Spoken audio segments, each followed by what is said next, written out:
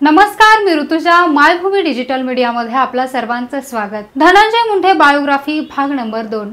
मित्रांनो मागच्या भागात आपण गोपीनाथ मुंडे पंडित अण्णा मुंडेंची राजकीय वाटचाल आणि पुढे धनंजय मुंडे पंकजा मुंडेंचा राजकीय उदय याबाबत थोडक्यात माहिती घेतली. आजच्या भागात आपण धनंजय मुंडेंबाबत अधिक रंजक माहिती जाणून घेणार आहोत.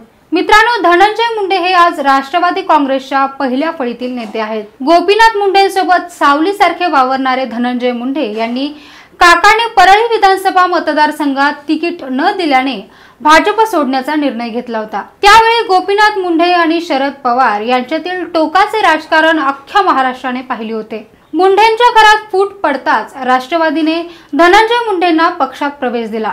धनंजय मुंडेंमुळे राष्ट्रवादीने आज बीड जिल्ह्यात खोलवरती पाय रोवले आहेत. मित्रांनो दोन हजार बारा मध्ये धनंजय मुंडेंनी राष्ट्रवादीत प्रवेश केला. पुढे दोन हजार चौदाच्या विधानसभा निवडणुकीत धनंजय मुंडेंना राष्ट्रवादी काँग्रेसने परळीतून पंकजा मुंडे यांच्या विरोधात उभे केले.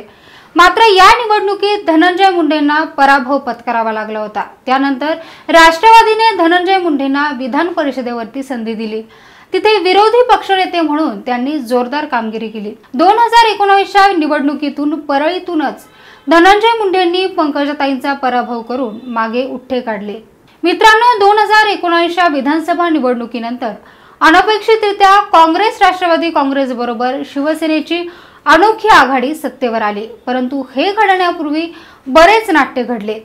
अजित पवार यांनी देवेंद्र फडणवीस यांच्याबरोबर भल्या पहाटे उपमुख्यमंत्री म्हणून शपथ घेतली होती. परंतु हे सरकार केवळ ऐंशी तासच टिकले आणि शरद पवार यांच्या कूटनीतीमुळे अजितदादा स्वगृही परतले.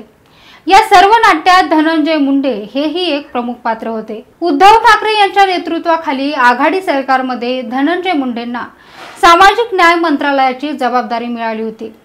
तसेच ते बीड जिल्ह्याचे पालकमंत्रीही झाले. आघाडी सरकार महाराष्ट्रात स्थिरावत असतानाच धनंजय मुंढे यांच्या विरुद्ध एका गायिकेने गंभीर आरोप करून खळबळ उडवून दिली होती. त्यामुळे त्यांची खुर्ची जाते की काय अशी परिस्थिती निर्माण झाली होती.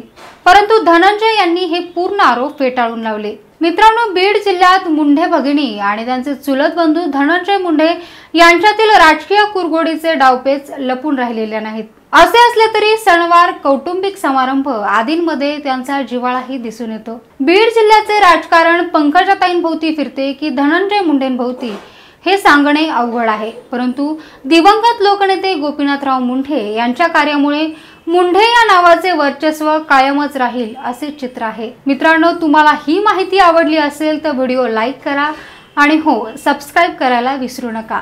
धन्यवाद.